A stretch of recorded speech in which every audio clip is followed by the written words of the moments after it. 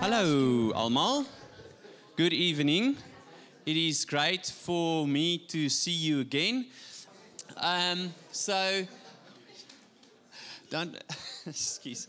So, just um, before we start, I just want to make a few announcements. Firstly, um, welcome. I said that already. Secondly, uh, we have started already with Bron again. So, Bron is op Dinsdae aan die 6 uur in hierdie vertrek. And what we do at Bron is we study the scripture that we are preaching on just a little bit deeper and a little bit further.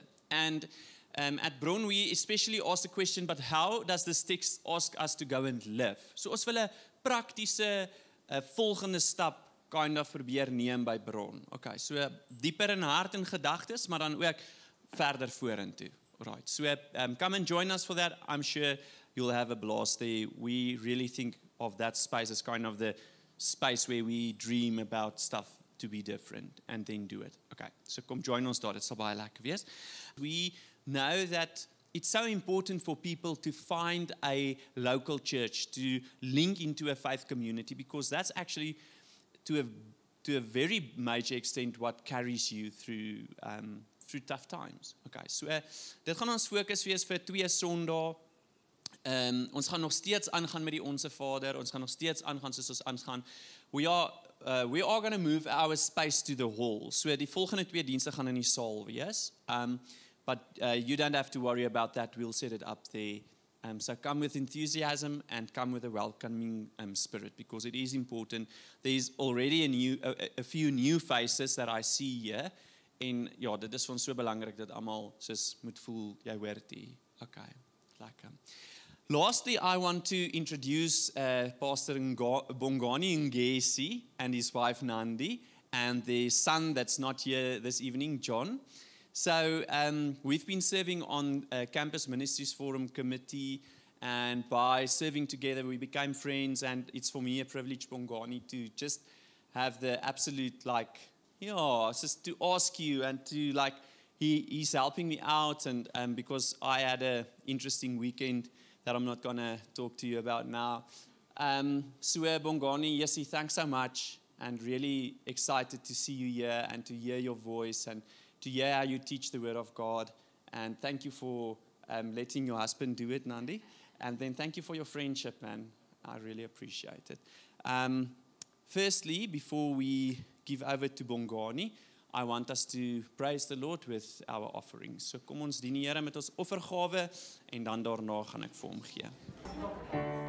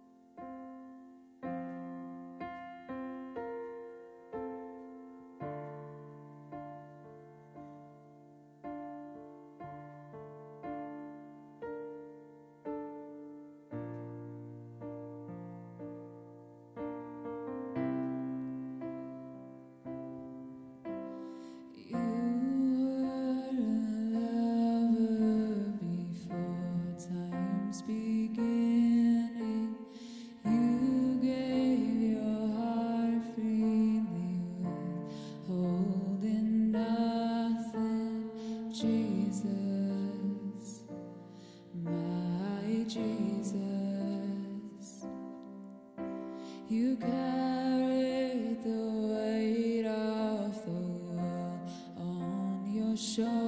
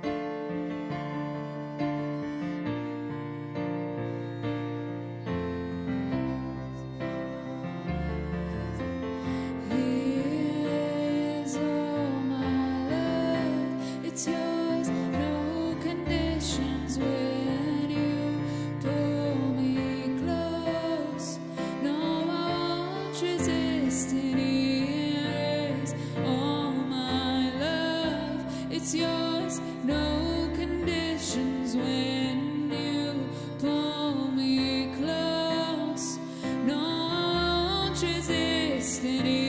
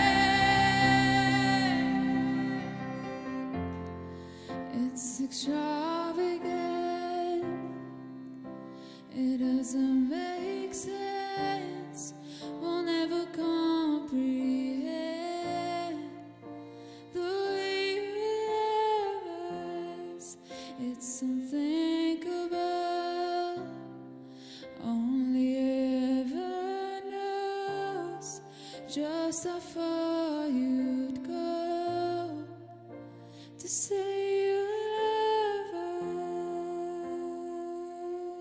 us. To say you love us. To say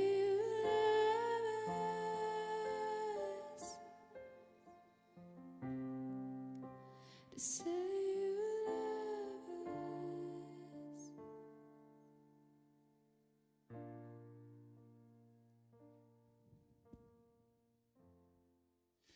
Dear Lord, we thank you tonight that we can gather at Kopanong. Lord, a, a place where I truly believe, Lord, you've put missionaries, a place where you will really make a gateway, Lord, for people of different kinds of ethnicities, of cultures, of genders, of different walks of life, economic status, to come and meet together. Thank you, Lord, that you just love us as we just meticulously sang just now. Um, what is man that you are mindful of? We're grateful, Lord, for you and what you've done on the cross for us. In Jesus' name, Amen. We may be seated. My name is Bongani. And uh, Chris, I know you are trying to hide my dumbbell, but I just, oh. Hi, guys. Uh, my name is Bongani, and I'm with my beautiful wife, Nandi, here. Uh, we couldn't come with our little boy because he was going to be naughty, and then you guys were going to be angry just before we do anything uh, in this space. And so, thanks again for allowing us the opportunity to come and minister the Word of God together.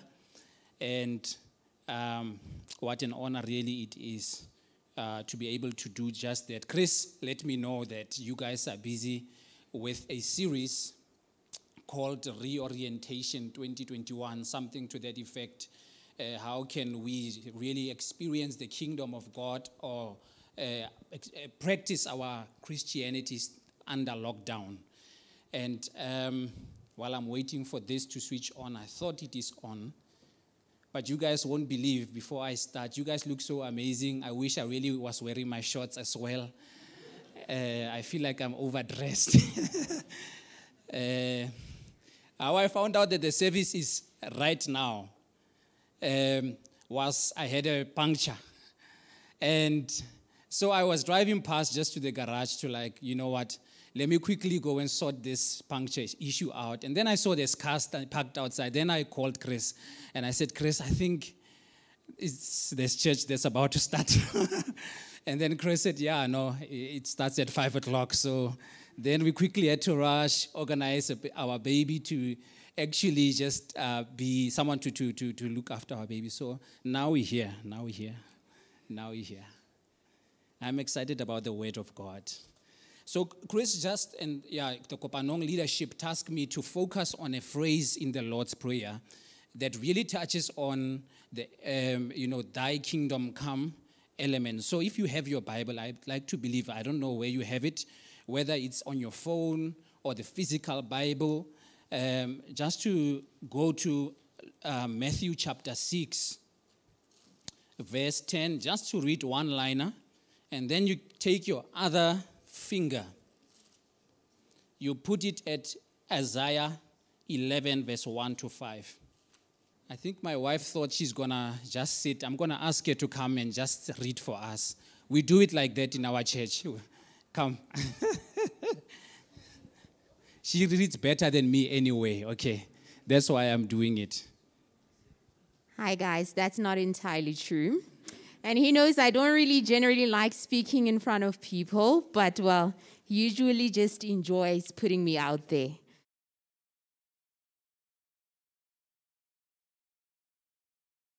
So, Matthew chapter 6, verse 10. so, um, I'll be reading from the New Living Translation. It reads, May your kingdom come soon. May your will be done on earth as it is in heaven. then, we move over to Isaiah chapter 11 from verse 1 to 5. And I'm reading from the New King James Version. And it reads There shall come forth a rod from the stem of Jesse, and a branch shall grow out of his roots. The Spirit of the Lord shall rest upon him the spirit of wisdom and understanding, the spirit of counsel and might, the spirit of knowledge and of the fear of the Lord. His delight is in the fear of the Lord, and he shall not judge by the sight of his eyes, nor decide by the hearing of his ears. But with righteousness he shall judge the poor, and decide with equity for the meek of the earth. He shall strike the earth with the rod of his mouth, and with the breath of his lips he shall slay the wicked. Righteousness shall be the belt of his loins, and faithfulness the belt of his waist. All right. Thus, we read. Lord, thank you for your word. We pray that today you just make it practical in our lives. Thank you for the opportunity as well. In Jesus' name, amen. All right, I heard some people say amen, and I was like, yes. There's was somebody that will say amen. So, Chris, you gave me 30 minutes, and I'll try to stick to it. When I hear the alarm goes, doo-doo-doo-doo, then I know my time is up. All right. All right, not too long ago, sorry, i will tell a lot of stories just to explain um, my points. The first scripture, obviously, it was one line. The second one, I will not go that much into it, but I will extract some principles from it. So if you go home, you will read it maybe for yourself and then you go very theological about it. Is it okay? All right. Yeah, so not too long ago here on campus, I was going to the printing shop, and the people who work in the shop, they knew that I am like a minister of religion, I'm a pastor. Um, and so I went there just to go and print, and I experienced that as I was in the shop, that the people were very excited that the pastor is now in the shop. So now everyone started talking about these masks, how they need to be taken off, and we need coronavirus to just disappear. The one lady was just reading her scriptures and quoting and everything. So it was like a mini church service going on in that space. And I was just like, okay, I'm, I don't want this to happen right now.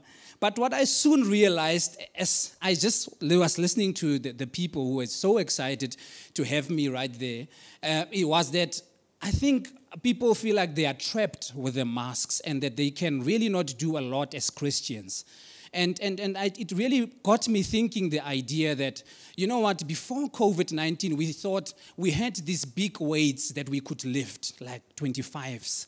I don't know if you know 25 kilo, uh, kilogram weight. It's like these big things that we could do, these big things we could do for God. Now it's coronavirus. We cannot really do uh, big things for God. And, and so that's why I just thought I bring this little dumbbell of mine to say God has actually given us some room also to move around in coronavirus we can still do something that is significant for Him, for His namesake. And so this dumbbell, it will make sense later on, but I just thought like we can still lift our dumbbell even in the coronavirus time. So this question, right, of the fact that we can do good as Christians in the world, can we still live a good life, a good Christian life during this coronavirus, during these times where we are really restricted. And I think today's sermon or message will really try to stir us into the direction to say, look, uh, we are not that bound. We still have these dumbbells that we have. By the way, this dumbbell was given to me by my brother in law, and I've just kept it there, you know. I've never used it before. I think back in his time, he used to use it. You see how old it looks and stuff like that. But I just think, like, yeah, maybe it's, it's time for us to just take out our dumbbell again. when we think about the Lord's Prayer, guys, really, I want to go to the heart of what the scripture really is all about. Um, it really, Jesus teaches his disciples something that is important with the prayer. He's not just giving them a method of how to pray because a method would be something that is very fixed. You can apply it only in specific situations and etc. etc. But Jesus was giving his disciples a paradigm. That's good English word, a paradigm, a way of thinking about their relationship with God. And so a paradigm you can use in many different scenarios, in many different ways. And the disciples of Jesus we're living in a time where there was really, you know, it was tough to really express your Christianity. And so Jesus was then giving them this paradigm in terms of how to think of yourself as a child of God. And what I truly believe about this scripture was that Jesus was, I know Chris dealt with the first two lines, uh, just teaching his disciples that they do have a father out there who really cares for them, who's looking out for them. And now, coming specifically towards this specific line of thy kingdom come, your kingdom, meaning the kingdom of God, his kingdom come. Guys, I think it's really important what Jesus is really trying to line, uh, outline for his disciples at this specific time. I think, you know, there's one way which you can read the scripture your kingdom, so meaning it is Jesus, and then you quickly isolate yourself from the experience of the kingdom because, by the way, it is His. But from the little that I know about the Bible, I think the Bible says that we belong to Jesus. We belong to God. We are His children. We, we are like, sorry for using business term, we are like shareholders in His kingdom. And so I think there's a difference between somebody who has shares in a company and somebody who just comes, they don't really, it's not their own thing. I want to say the kingdom of Jesus is, the, is your kingdom as well. You have a responsibility to take out and play and, and really do some things for God even during this coronavirus time. See, if, it, if you did not belong, then it would have been another story. But the Word of God says that you are a child of God, and God has entrusted the kingdom, His kingdom, to myself and you. And so that's the paradigm which Jesus is bringing to His disciples to say it doesn't matter whether it's coronavirus or whether it is really a tough time. We are in this kingdom thing with God with all of our hearts. Now, I think it's important for us to really get the context of why would Jesus really be saying these type of things. So now, it is important that we then go into the role of chapter 6 and uh, you know try to see what are some of the topics which Jesus was really addressing there. Some of the topics, must I stand still for the camera? Oh, okay. Sorry, I tend to move around and do all that type of thing. Is that fine? I got Chris's blessing, so I'll do it. the first thing which Jesus starts to touch on in chapter 6, he's speaking about giving to the needy, right? So, such an important thing to, to do when you give to the other. Jesus says, Let your right hand not know what your left hand is doing. And so I think the crux there is that in this kingdom, when we do things sometimes, do not be out there like, yo, we are doing this good things, these big things, and all that, and, you know, people for you, for them to praise you and stuff like that. I think that's maybe one way to look at it. But I think also the other way, which I like, is when you give something to somebody, don't ask questions about what you gave. You know, sometimes you give something to someone, and then you're like, please don't use it this way and, and that way. No, no, when you give, stop messing and meddling with what you gave because, in the first place, your heart was just to give. If it was in my church, I would say, look at your neighbor and say, don't interfere once you've given, but I will leave you. Some of you are like, yeah, I want to try it. Second topic which Jesus touches on, he speaks about this whole concept about fasting. Fasting is basically in the Bible time, Bible times, people would just go for many days without eating food and stuff like that. All right. So yeah, there's there's a lot of different ways in which people believe about fasting. Some would say, as New Testament believers, we don't fast anymore, and it's, it's fine. I think there's not a contention about it. But I think there's something which is important for us to note about fasting because we are trying to learn the context in which Jesus is speaking about this. I don't know if you guys have experienced it, but in coronavirus time, lockdown, you would think that people are the most closest to God because everything is locked down. But unfortunately, people are the most isolated from God. And I think the principle of fasting is teaching us something. It is important for us to really, at times, just retreat and connect with our Father and our God. See, I know in the times that we are living in, even as Christians, there's so much that we can do on the internet and things that we can do. And we actually experience that now we are neglecting God, the things of God, reading the Bible. We are just about Twitter and, and all of those wonderful things. So I think um, as children of God, there's really an, an opportunity during this time to also just retreat and just really connect with God, have a quality time with Him while things are the way they are. Third topic, which Jesus touches on in this wonderful text, is He speaks about the treasures that we have in heaven. And I think I like this one the most. The fact that we should not be investing, he says, our lives in things here in the earth where it can really, things can happen to it. But Jesus is saying, invest it in heaven. I think my little understanding about this text is that I think Jesus was saying our whole lives, everything that we have, our studies, our relationships, things that we do, because we are heirs of God, we are sons and daughters, it all belongs to God. And it is actually a, wide, a wise way to live, knowing that God is the one who will fend for your life if your life belongs to Him. And I know sometimes we tend to look at our lives and we say, you know, there's compartments about my life that belongs to me, others belongs to my family, that one belongs to my boyfriend, that one to my wife.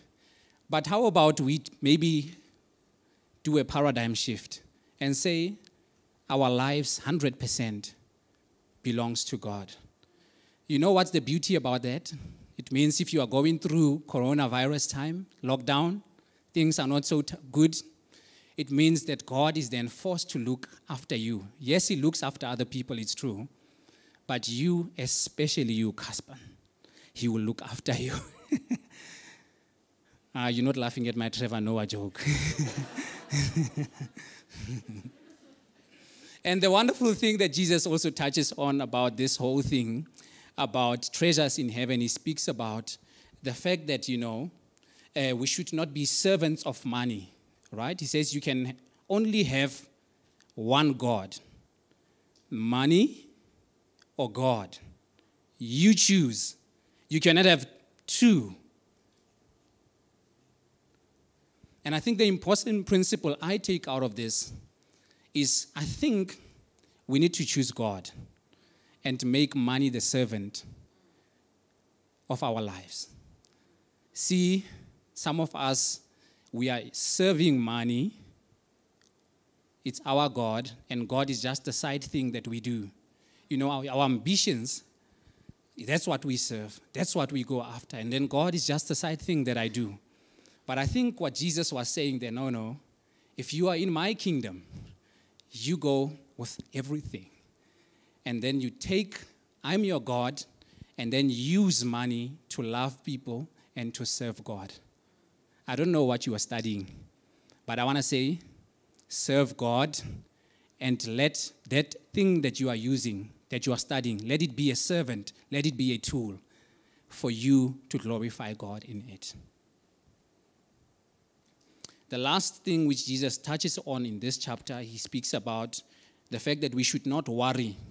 You know, he speaks, he's, and he points like to little birds that flies out there. He's like, do they have a chief?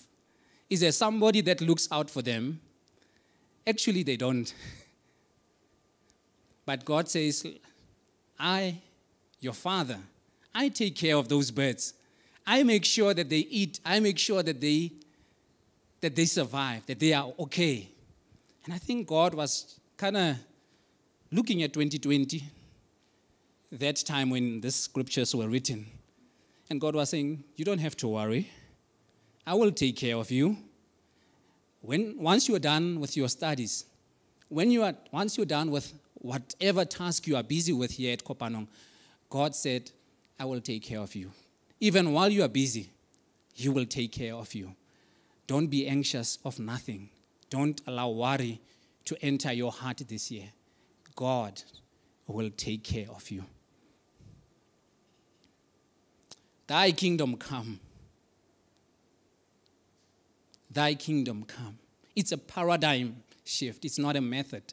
It's a way of knowing and of living that God, you are His son, you are His daughter, you are, his, you are working for Him, and you belong to Him, and God has got your best interest at heart.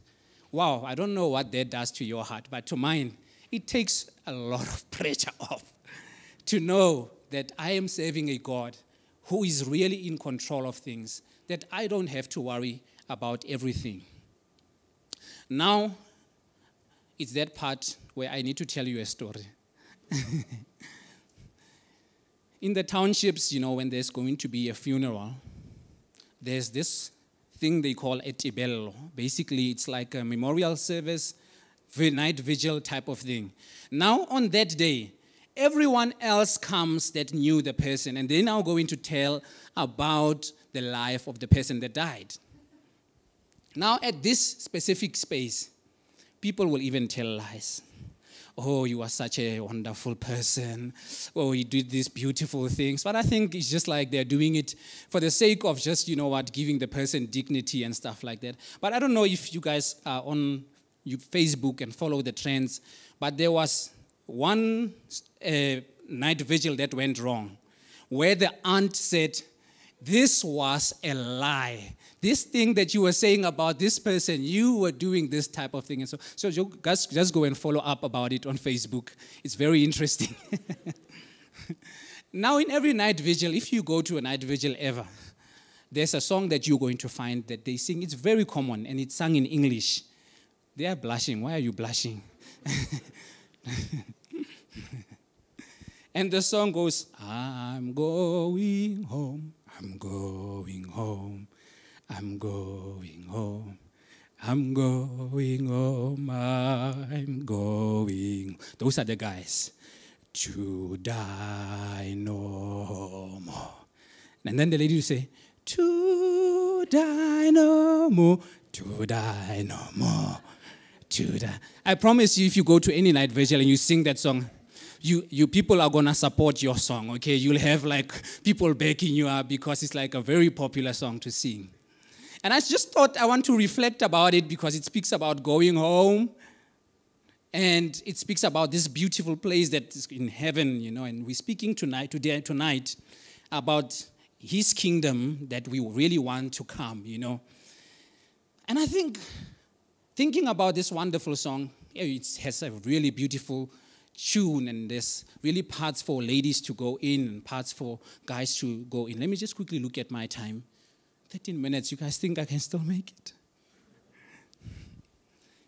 Chris, I'll make it, don't worry.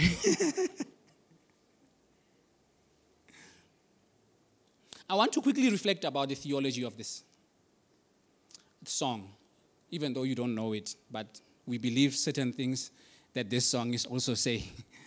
It says, I'm going home, that the truth is that um, as a child of God, when you believe in Jesus Christ, you put your faith in Him. There's nothing that you have to do, it's just you put your faith in Him. Then you get an automatic ticket to go to heaven, which means you are guaranteed a place in heaven. You will meet with your Maker one day, which is an amazing thing. I think we don't celebrate it even enough when people come to salvation. All right? That part, 100%. And if there's any of us here, maybe you have not really put your faith in Jesus Christ, I want to really encourage you about this Father which Jesus speaks about, who sent his Son to come and die for your sins, so that you could be reconciled back to him and that you can live in, at peace with your Creator. I think that's so important for us to really realize. Second thing that is important about this song, um, it speaks about I'm going home to die no more. Okay, it's true. In heaven, we're not going to die anymore. There won't be sickness. There won't be coronavirus. I'm told that if you get coronavirus, you lose uh, your taste. Is it true? And uh, your breath. I saw once how it really suppresses your breath. And the one gentleman, it was the first time I saw someone with coronavirus. Up until last week, my younger brother had coronavirus, and he told me it's not a lekker thing to have, okay? but apparently in heaven, there's not going to be this pain and all of that. And so I think it's an amazing thing to, to, to, um, to experience. When we cross the, this life, when we die, we know we have a security with God and we are going to a better place. Some of you, you have so many difficult questions for pastors we don't have, let me tell you the truth, some of the things that you ask us, we don't have the answers to. Questions such as, why do bad things happen to good people? I don't know. why did your boyfriend break up with you? I don't know. Honestly, I don't know. You know, and, and, and, but the Bible says that when we get to heaven, there's going to be answers to some of these things that you're asking us, and it's going to be so amazing to be in heaven. And I think it's going to be a jolt. There's going to be people of different, it's going to be a diff, kopanong on steroids, okay? People are going to come from different nationalities and everything. I think the worship is even going to be amazing. By the way, the worship was so amazing tonight. I really enjoyed it. While I'm entertaining you, my time is flying. but what this song neglects, it neglects to speak about our the kingdom that is, has drawn in when Jesus Christ died. Myself and you, when Jesus died on the cross and he was resurrected, his kingdom started to approach us. It started to arise in our hearts. And that is what we were reading in Isaiah chapter 11, verse 1 to 5. His kingdom is not something that we just calling for one day, but it is already is approaching us, which means we can take on the responsibility of the kingdom while we are here on this earth. And I think it's such a privilege to be called a child of God, to be part of his kingdom here right on earth. And that's why I believe there's things for us to do as really shareholders who have a different mindset about the things of God. And there's a difference between a consumer and somebody who takes ownership for the things of God. A consumer is just like, I'm waiting for this home. This beautiful home is really coming, Jesus. Oh, there's going to be such nice lounges in heaven. And there's going to be big screen, big screen TV. We're just going to sit. It's going to be so nice in heaven. But no, no, the Bible says that you've got a lot of responsibilities here while you are on this earth to exercise the kingdom of God and really to enable others to experience God through our lives.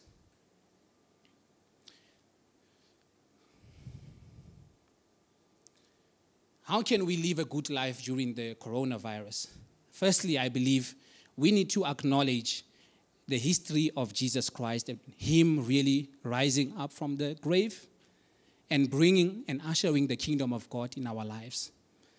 And what that basically means, if I understand Isaiah that we read, is that look, yes, His kingdom is something that is very and very important. But look, we don't have to worry about imposing the kingdom of, of God on this earth. You know, those Christians that go with on their cars, it's just written big, I am a Christian type of thing. No, no, we don't need to do all of those things. Just by mere fact of us really acknowledging what and knowing what Jesus Christ did on the cross, it means we can be fine about some things. You know, fact that we don't have the big dumbbell, fact that we are meeting this way, fact that we're still continuing with his mission, speaking his truth and proclaiming Jesus as king, living our lives with integrity, doing all of those things. It's a small way in which we can still let his kingdom come. No, no, his kingdom is not, you know, and I know wherever where we're going, we are told you must be leaders. Come with broad shoulders, sort situations out. That's not what I read in the Bible. I read about a servant Jesus who came and stood for the right things and was just there. And sometimes to be a leader means that you support even the things that are right, that you stand for, for justice, and that you really, when, you know, uh, when something is going wrong, that you really speaking up about it. That's when you are letting that kingdom to manifest in your life. Second thing, we can, how we can have a good life now, meaning exercise the kingdom, is we can cooperate with the life giving spirit of God, who really is his, his purpose is to co create and bring hope in the world. I think it's so easy, guys, what we should do. Our responsibility is to bring hope wherever where we're going. Is to really proclaim that wherever there's brokenness, that relationships can be mended. And I'm so proud about you guys because I heard your story. That it's people like you who really makes this kingdom thing to be something that is so true and so tangible. And Isaiah speaks about this servant attitude of Jesus that we just display that we just go out and we serve wherever we, where we can serve. And I think sometimes we really lock up our, our world by thinking, oh, what did we do before this virus was here? then our minds just closes and we can't be creative in terms of creating this hope which God really wants us uh, to, to go out there and do.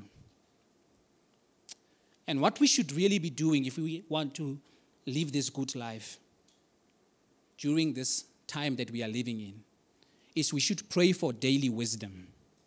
Now, can I ask you just to be charismatic for one moment and just say daily wisdom? Uh, yes. Where there's a leader, there is a mission. And I believe all of you are missionaries that are seated here. And God, if you ask Him for wisdom, how to really still be effective during coronavirus, He will give you the wisdom. Because where there is a mission, there is a leader. And where there is a leader, there is a mission.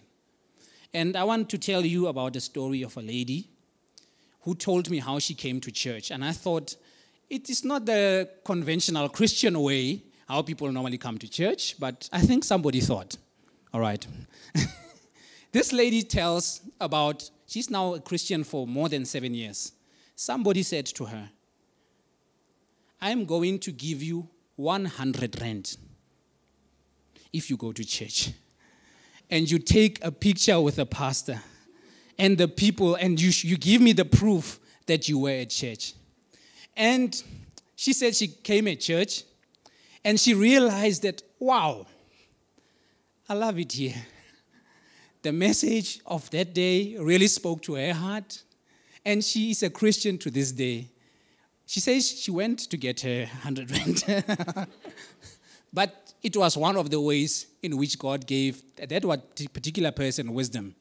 See, we are not closed off by masks.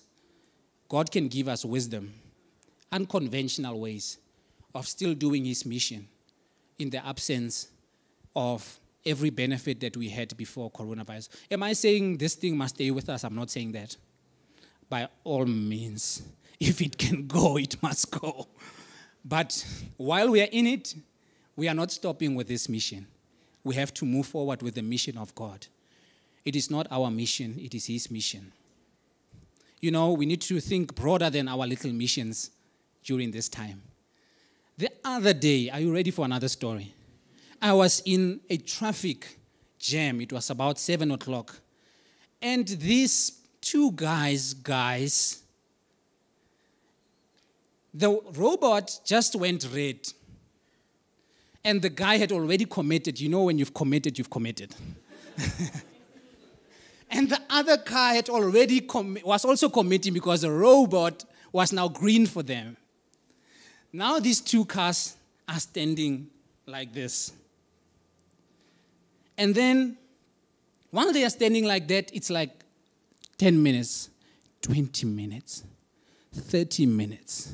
And I ask myself, are these adults men with grown beard? really stopping the traffic because of their kingdoms that they think they need to protect. I think in order for us to be effective during this time, we need to get over our little agendas, our conception of how reality should look like and how it looked like even before coronavirus, and adapt and say, Lord, how can we be more creative during this time? It's about serving. You know, Chris knows that um, there was an opportunity for us as Campus Ministry Forum uh, to partner with people that we did not really want to partner with.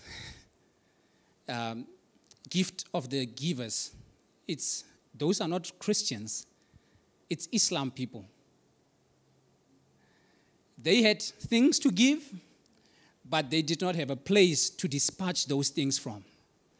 And as a church, we realized and thank you to Kopanong for opening your, your doors to say, look, we are just a vehicle which God is using to touch the lives of other people. And sometimes we need to get over our own little worlds, our worlds of preference and comfort and things that we want to do, and really step into the things that God wants to do. At the end of the day, it's about feeding the needy. It's not about the name of your church. It's not about your gender. It's not about your whatever. It's about God reaching the world to bring transformation in it. My wife have said so many amens. I'm sure she's run out of them. I don't know. You know, there's so much opportunity for us to really be effective. You know, there's, I'm not giving suggestions. There's flats out here, they are dirty. Maybe we just need to go and clean one day. Someone will say, Why are you doing it? Why are you wasting? No, no, it's God's kingdom. We are taking responsibility for it. We are, we are co creators with Him. We are advocates and agents of hope and bringing healing wherever we can. And that's what we do as children of God. And so I don't know about you, but my time is up. I don't know what your dumbbell is, because sometimes we think we need to change a big thing. God says, No, I've put a dumbbell in front of you. It's just a friend that you need to love. And maybe just when you can, lift the dumbbell of the kingdom for God, and it will be enough. Maybe it doesn't look the same as how you would have wanted it before coronavirus, but lift the dumbbell for the kingdom. And I believe as you do that, that will be equal to you living the good life, even in these tough coronavirus times that we live in. As I'm closing, what is your dumbbell that God is just reflecting to you that you need to go and lift, bringing that hope, stepping into that situation? Remember, it's not about you and your comfort, it's about His kingdom that we get the privilege to partner with God in. Can I say a prayer for us?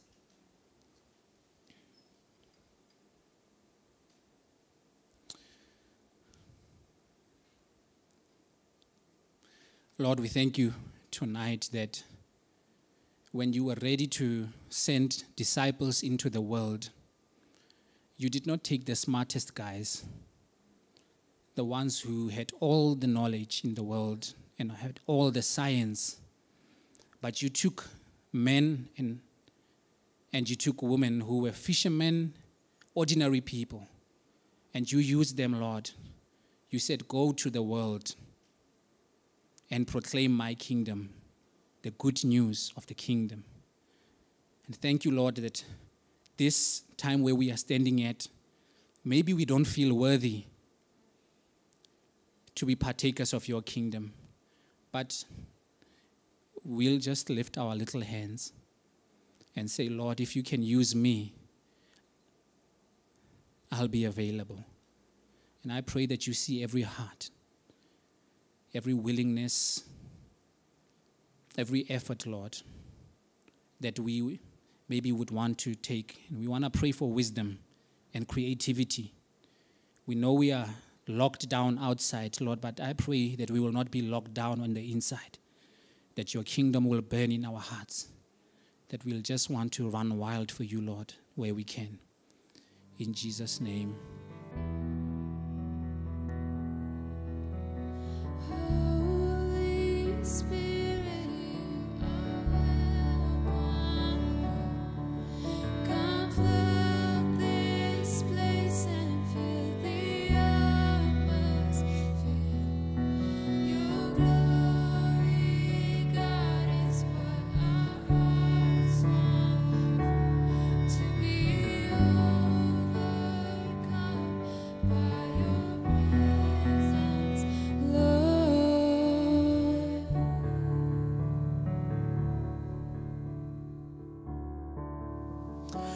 Receive the blessing of the Lord and go and live in His peace.